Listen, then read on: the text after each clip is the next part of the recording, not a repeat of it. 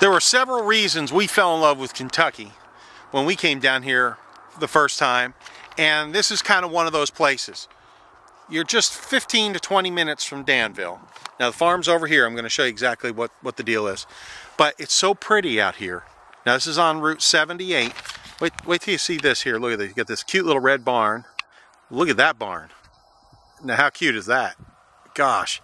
Well anyway, that's right across the street. I'm going to show you here what's going on.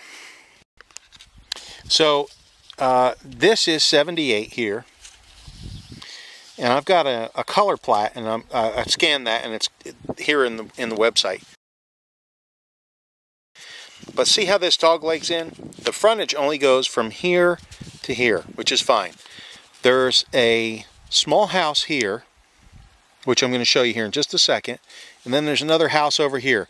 But they're so old and they're good, they're fine, people are living in it, but they're not like a real house house that we're trying to sell. So they're kind of just like a bonus. All right, so they're just real old farm, old-timey kind of farmy houses. But I'm going to show the, show you this. But anyway, that's your road frontage. Then it goes uh, here up and over this hill, and then this is like the top of the ridge. Goes all the way in the back. then you got this little dog leg. Now it's actually two different tracts of land. You see this line here? So there's 99 acres here and 60 acres here, more or less. So you're looking at about 150 total. Crazy good deal, sincerely. Now pay attention here. If you want some land, some recreational land, this is a deal, okay? All right, so it starts up here. It starts up here and then cuts back. You see that? So cuts along the road and then up and over that mountain. Now there's a couple barns in here. And then this really nice beautiful stream. And I'm going to find out the name of it. In fact I'm going to put it right there on the video so you know exactly what it is. And then you've got this nice cleared out area here and that little house. Little they had a little wood stove little smoke coming out okay? But then here's this creek. And don't you know that that's old? We're going to take some more pictures down there just pretty as a picture. Then it goes down, oh, it's actually, it goes along that creek. See how it goes like that? It goes along the creek there. So there's, this is the end of the frontage here, and it goes that way. Uh, so we're gonna, we're gonna go down here to this field. This all makes sense once you're here, and I hope it makes sense on the video. But this field, this that, that bottom land is not part of the property. The trees are kind of like the end of your deal. But on the other side of the creek, you've got the field and then the creek, and then the other house is back there, which is right there in that corner, okay? Nice. When we bought the place where we live, we had a driveway like this for years, many years. You'd go through the creek. Now this is all stone bottom, so you know, unless it gets up, you can get across any time during the year. You can walk right across here with all this stone bottom. See it? Um, but you might want to put in a bridge or you might not. It's kind of quaint. And I'd say about once a year, uh, the creek where I live now, this is a much bigger creek. The creek would get up too high for us to get through. In about an hour or two, it would be down. And it'd be kind of cool to kind of be snowed in a little bit there. So, but anyway, real beautiful creek. never have to worry about water and then it just goes right up over this hill under this flat spot. But now just judging, and I'll get exact measurements for you, but with this much frontage and how wide it gets um, and how deep it is, I guarantee you, you're close to a half a mile deep here, half a mile. So can you imagine having that much land? You don't ever have to worry about anybody with that much woods, all, that much cleared area. I mean, you can make a hobby farm out of this in a heartbeat. Okay, so we just came down the driveway and into the creek and of course it's all stone bottom so you can you can drive even with two-wheel drive car. See it's like this shaly stuff. Okay? And uh, I just want to show you this this stone wall. It's just pretty. Now I have no idea what its purpose was other than to just divert the water or, but that's a that's a lot of effort there to just to divert water and we can drive all the way down this creek to the other house, which is kind of neat. And it, it's one of those things, uh, God willing, and the creeks don't rise, That's this farm.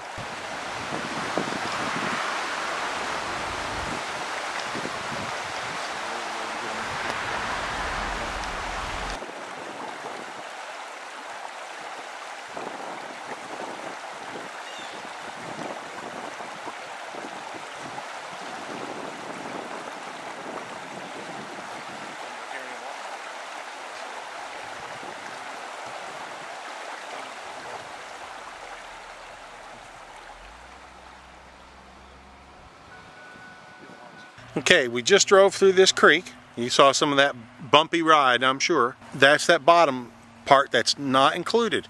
But you're, I'm assuming center center line of the creek. So everything from the creek over is is on your land, and then there's the bottom land, and then the highway, and then that red barn. Now it looks real close, but it's not. You can kind of see how far away it is. It's always good to have farmers for neighbors because they have tractors and tractors can jump start you if you got a bad battery or pull you out if you, are in the mud or uh, you know plow your snow or grade your driveway or something like that. Farmers are the best. I'm a I'm a farmer. Uh, we live on a farm. I consider myself a good neighbor. We're always glad to help the neighbors out and most farmers you're gonna find are that way. But anyway let's talk about this piece of property. This is that second house. Uh, it, it's not the property line isn't far past this house and then that's the end and then it shoots straight back. But wow what a cool place. And that's a big house. So that was that was something else back then. That's pretty good sized house. That's uh, I'm gonna guess 1800 square foot house 2000 square foot house. Probably needs a lot of work but again we're not representing the house. We're representing the land. 150 acres a screaming deal a bargain. Like crazy money. Okay? Talk to Dan. Let's go on in the back Okay, so now we just pulled up here real quick. Again, the big creek is there, and then look, here's another creek here. Now this is about uh, 10, 12 feet wide. Uh, probably eight foot of water right now, but it's been really dry. So this is going to be a lot higher. And this is the house, the one house. Now, remember, I, I keep telling you about the house, and I really shouldn't focus on the house. But I want to let you know about it. It's here. It's nothing for you to focus on because it's it's it's not valued. So you're getting the house for free. But there's, uh, you know, that's there's potential rehab in that. You, for if you're going to just, you could potentially rehab this, certainly enough for a hired hand or for a little weekend getaway. You know, it's there, something to start with. This is a heck of a hobby farm, 150 acres. Lots of adventures lot of memories to be made here with your uh, with your kids, grandkids, uh, brother-in-law, family, whatever, your friends. Come on up here and uh, you can beat on drums if you want. But there's there's plenty of uh, open grazing land. You can raise some cattle out here. How fun would that be? I get excited when I get to see these pieces of land because I know there's so many dreams and so many memories to be made and it's so tangible. It's a good investment. Lots of adventures here. We're just going towards the back. This goes back as far as you can imagine. Just keeps going back and back. But we're going to cross now this same creek. Now we've already crossed it twice, the little creek. And then we're going to go back up in that field and see what kind of adventures we got there. These little humps here, which are affectionately locally called the Knobs, uh, have some incredible views at the top. As you can imagine, you, uh, you just climb up there, or four-wheel, or you have those side-by-side -side vehicles. You get up there and a little picnic place out there. Oh my gosh, little A-frame for camping. Let's go see what's up here.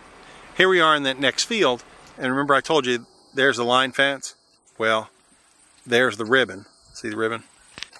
Um, so everything's been recently repinned.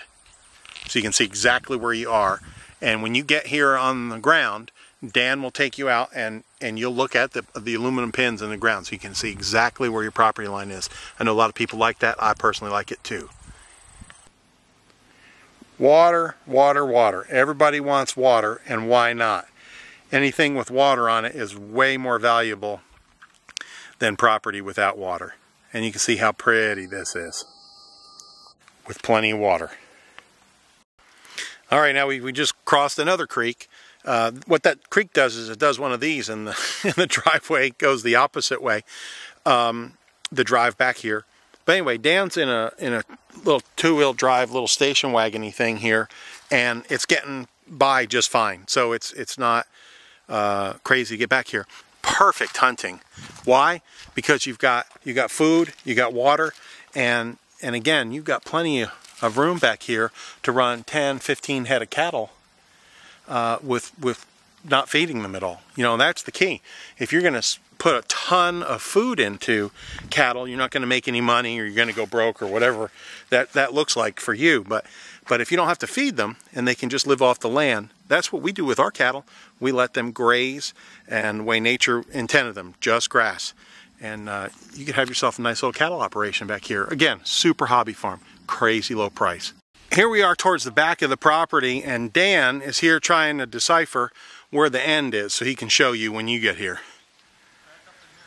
It's still back up in there? Okay, so the property still goes way back up in there and you'll see it better when you come and look in person. And again, he knows where the pins are or he's going to find them. You know, it jig, jig jags a little bit, so we've got to we got to find all the pins. But it's really nice. You know, I was saying to Dan, it would be very different. We've had a lot of land that's just like that, just that alone up there. And you go, well, it's great. It's a lot of trees. But what makes this really nice is all this cleared area. I mean, there's plenty of places for a cabin. There's so many little creeks going down. If you had 10 kids, you could name a creek after each kid. But there's all kinds of places that are nice, nicely elevated, not yet not steep, with incredible views for you to put a cabin in. Wouldn't that be cool? Of course, you probably have a moonshine still out here. Oh, I didn't say that. Strike that, strike that, strike. Okay, so I was just up at that field there. I mean, just right there on the other side of that stump. And then walk down here through the creek again, another little branch, little creek. And I wanted to show you back in here.